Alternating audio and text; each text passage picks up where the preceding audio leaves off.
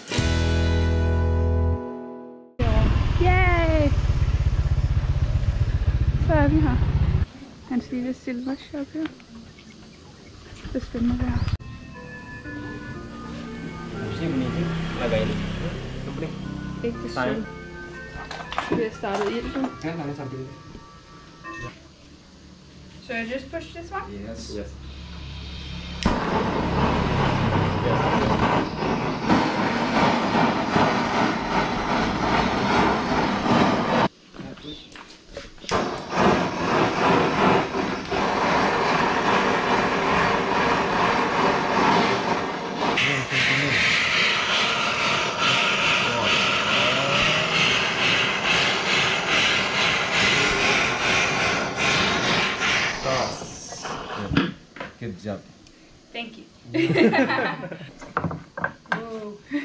You can only hunt it. Oh wow. Whoa.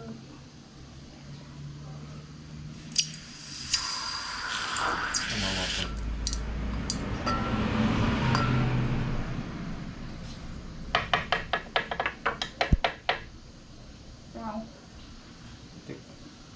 No hot. No hot, no? Yes. Wow. Good, yeah ja. Det skulle vildt nok. Åh, hvor er det sjovt. Han laver et stykke til dig og et stykke til mig. Men din ring skal være tykkere end min. For you. Thank you. Den er tung. Ja. Okay. You making square, yeah? Like this. Dyrt.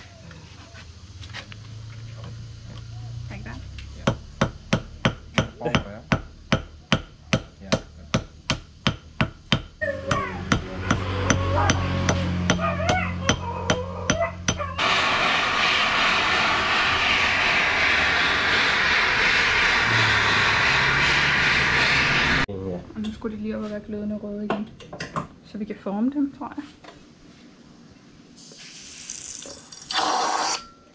Yes. Also? Yes.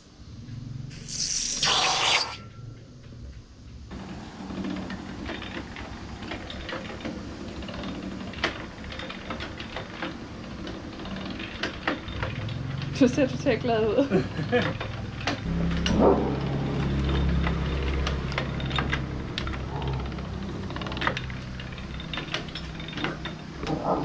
Åh oh, ja, du. Lad os se, hvor sød den er. Prøv at se den her udsigt. Helt vildt.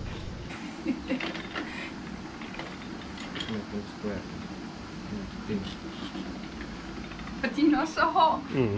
Jeg se. Med dig, der lignede det bare, at du kørte den totalt let. Så det var en så er det denne lille en.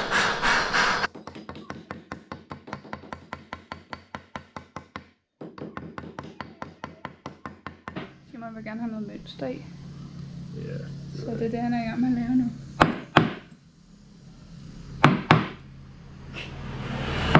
Er det svært? Ja, jeg ved ikke rigtig, hvad jeg laver. Må jeg se, hvordan det ser ud? Ja. Sådan, du kan tage den her som inspiration. Men Den er jo lavet på samme måde. yeah, more plus. Ja. Vi er tættere på hinanden.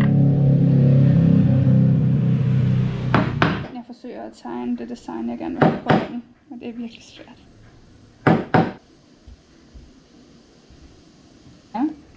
Doesn't here difficult. Here, Okay. okay. So just make this small. Small, but uh, look Yeah, this is fine. more, More? more big, Uh, more long. a little no. bit. A little bit. Yeah. Det bliver sgu ikke lige så flot som på billedet.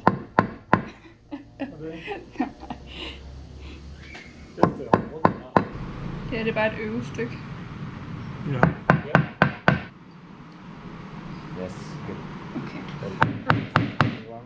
Rigtigt. Jamen, det er jeg Okay. Fine? Yes, good. Okay, great. Good job. Practice. Yes. Yes. That's okay, that's okay. Good, good job. Good job. Thank you. Hvordan størrelse? Så sidder han her. Laver den i en rigtig størrelse.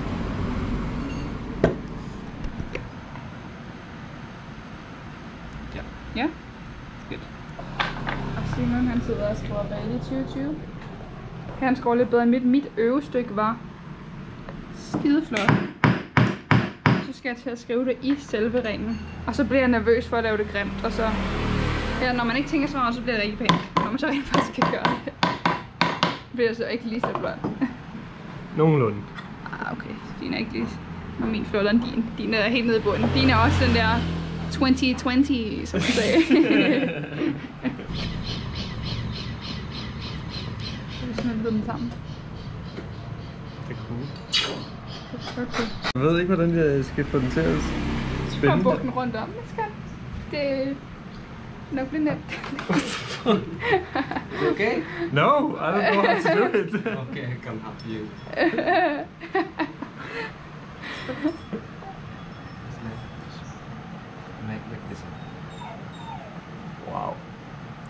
Strong hands. Yes. That's straight. Yes, around. After here, like this. Around? Okay. Okay. I try. If too hot, you can break it. Jeg ved ikke, hvad jeg laver. Jeg prøver bare. det er godt. Jeg ved ikke, hvor meget, hvor lidt, hvordan eller hvorledes. Gør det bare. Det virker som om, du stoler på mig lige gået. okay. Mm. Okay. Og på fingrene, ikke? Jo. Svært at holde ordentligt tilbage.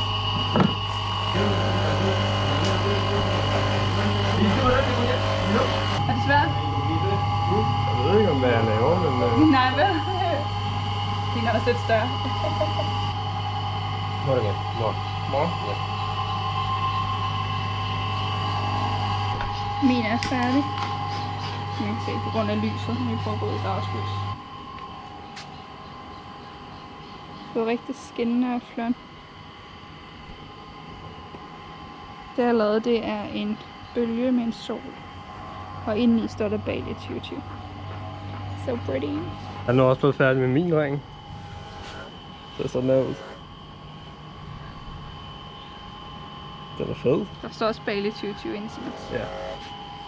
Hvor er det fint. Anbefalesværdigt. Jeg går ikke selv, hvis I kommer til Bali. Det kan godt være, at I bor lidt langt væk fra det, fordi det ligger lidt ude i ingenting. Men hvis I kommer til Bali, så gør det. Det er helt klart det er værd. 100%. 100%. Igen.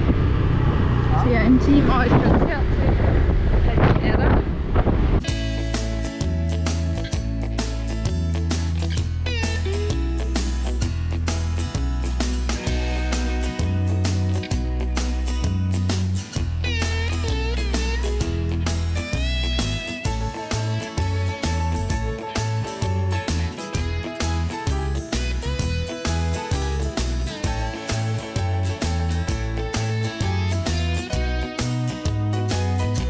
Så er vi tilbage i Ubud.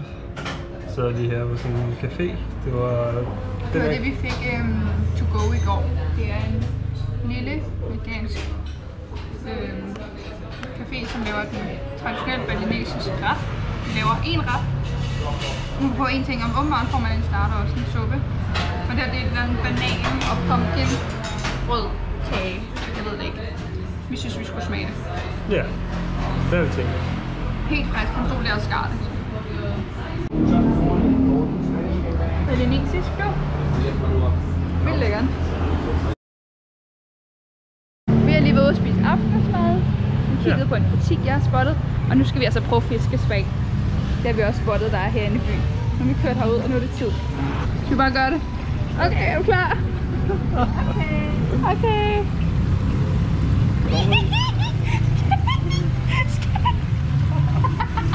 Ej, jeg kan ikke lide det. Ej, hvor er det ubehageligt. Ej, jeg kan ikke lide det. Nej, nej, nej. Ej, det tager min tær. Jeg skal tage min Det var ubehageligt. Jeg kan ikke lide det, skat. Nej, nej, nej, nej. Ej, nej, nej, nej, nej. Ej, hvor er det ubehageligt der. Jeg kan ikke lide, når de er mellem tæerne. Det kan jeg sgu ikke lide. Det kilder. Og se, hvor mange flere der er over på Simon, mand. Prøv at se den der. Du har bare totalt meget dødhed. Virkelig sådan. Det var sgu en spøjs oplevelse, var Skan? Det var fandme sjovt. Hvad synes du, Skan? Jeg har aldrig købt min tær og følt sig rent Det var sgu spøjs. Jeg kunne godt tænke os lige at lave en lille update. Vi er lige kommet hjem. Altså det her hus udenfor er det smukkeste. Det er en oasis. Det er smukt. Det er virkelig flot. Hver morgen, morgen jeg vågner og kigger ud, tænker jeg, wow. Men vi føler os rigtig utrygge. Øh, et, vi bor i en villa for os selv. Der er ikke nogen reception, der er ikke nogen noget. Øh, det er bare os. Vi bor ikke uden for Ubud. Altså, det er tre minutter på scooter, så er vi ligesom inde i midten. Men vi bor nok ude til, at der ikke er larm og mennesker ude foran. Altså, vi bor meget alene, omringet af mange planter, øh, med åben ude på badeværelset, utætte døre, 6 meter op til loftet, og der er mange kryb. I går aftes, der øh, lå vi her i sengen, og så hernede ved siden af min seng, eller ved siden af min side herovre, der lå der bare en af de der æderkopper, som man ikke har lyst til at have indenfor. Nej, det var en af de, de asiatiske æderkopper. Det er sgu ikke nogen af de æderkopper, vi kender hjemme i Danmark. Og øhm, når personalet er gået hjem, så er vi bare on our own. Ved I det? Øhm, den måtte vi få nakket. Øh, og hvis den lige pludselig løber op ad væggen, og det er op, så er der bare ikke noget for os at gøre, og det er bare ikke en særlig fed følelse. Øh, plus, at nu kom vi så hjem nu og blev mødt af 5-6 af de små gækord, det er så også, hvad det er. Øh, og så lige det vi parkerede vores scooter, så på vores scooter var der allerede kommet en af de der æderkopper igen. Og tænker, hvor fuck kom du fra, ikke? Og nu render han rundt derude i vores have. Øh, og det synes jeg ikke er særlig fedt. Øh, fordi den kan meget, meget nemt komme herind. Alt er åbent her. Og så sad nogen på nøglen, og vi var sådan, prøvede at tage det med ro efter det med at komme i går. Og jeg har ikke sovet hele natten, fordi jeg brød mig sgu ikke om det. Jeg følte mig meget utryg. Øh, ja. Og så sad der lige sådan en fucker ude på vores scooter, da vi kom hjem. Så jeg ved ikke, om vi har kørt med den, eller hvad vi har. Men øh, det er så bare ikke lige så fedt, når man skal til at sove igen. Jeg synes, det er super fedt om dagen at have en privat pool. Og en privat lækker sted at være, der, hvor der er så smukt. Men jeg har også bare brug for at kunne komme ind og slappe af. Og også bare nyde de der chill, ubudte vibes. Og bare relax. Altså, og have det hyggeligt. Vi har det så skide hyggeligt. Men øh, vi bryder os ikke særlig meget om at være her. Ikke, øh... Nej, altså ikke ubud, men her i huset. Ja, ja. Her er huset. Ja. Ja. Og man har heller ikke lyst til at være udenfor om aftenen, fordi der er fucking mange myg. Ja, og myrer og æderkopper, og der er bare så bælragende mørkt. Fordi det er bare os. Og frø. ja, der er ikke noget gadelys, så vi må se, hvad vi gør ved situationen.